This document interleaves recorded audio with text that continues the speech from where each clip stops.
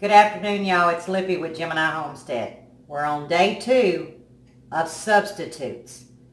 Now, what got me to thinking about doing a video, and this is going to be short, is because I was actually looking at social media. And I, I guess I never realized. But there is a lot of people out there, which let me say this, I am so proud.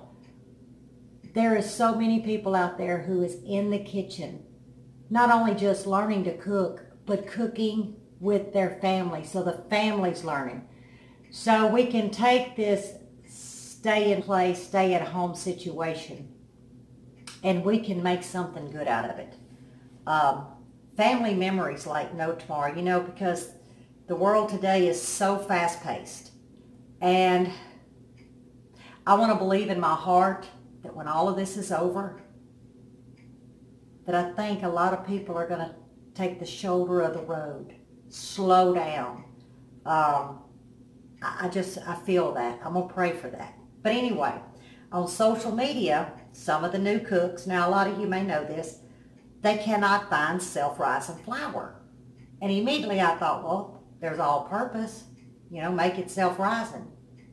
So then I started researching your Walmart, your, uh, your Kroger's, different places. They have all-purpose flour, y'all. They don't have self-rising. So a lot of the young cooks out there, you know, are trying to bake or trying to do something, you know, I don't know what it is they're trying to do. But they said they don't have any self-rising. So we're fixing to make self-rising flour out of all-purpose. And like I said, most of you may know this, maybe not.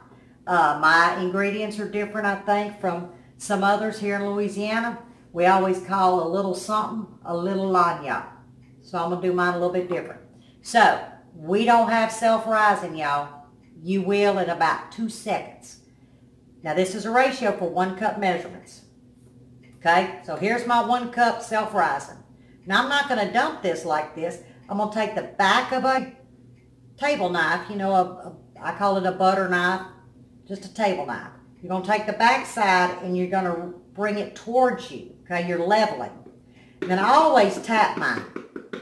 Then I go away from me. That's even measurement of one cup. Then you're going to take two teaspoons of baking powder. Two teaspoons of baking powder. And if y'all don't know about baking powder, there's a little metal lip here. There's a purpose for that. It's no different than the flour you scrape.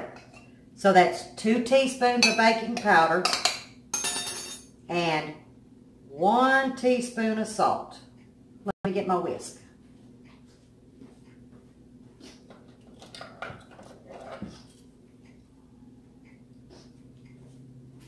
I didn't have my whisk with me. Now you have self-rising flour. Okay? One cup all-purpose, two teaspoons baking powder, one half teaspoon salt. Now this is non-iodized. So you can use Himalayan or whatever, but if you have iodized, that's all you have, get after it. It's not a big deal. So it's one two teaspoons, one half teaspoon, you got self-rising flour. Now I'll tell you another trick. Some of you may not know this. You dumped your flour into your canister or into a bag. And boy, my face itches. Been out in the garden. And you don't remember which container you put what in. I had to get a drink of coffee, y'all. I was about to choke. Um, but you can tell which is self-rising and which is all-purpose. Take your pinky. Yes, lick it. Go in here. It's salty. You know why? Because it's self-rising. If you would have tasted the all-purpose, it would have been flour. Very easy trick. Most of you may know, but hey, I'm reaching out to the ones that is getting enthused in the kitchen, trying to cook, uh, spend time with the family.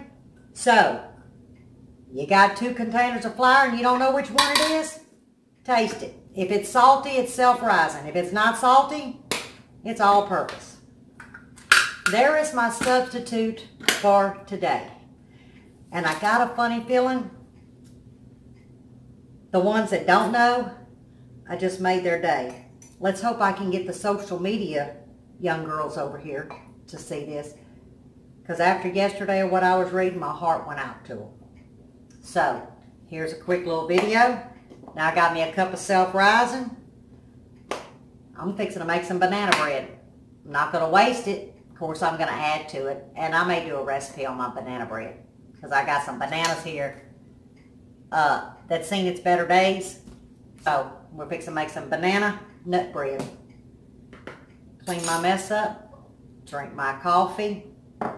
Stay safe. Reach out. Long distance now. Reach out long distance. Love one another. So until next time, which will be tomorrow for another substitute tip, God bless you all.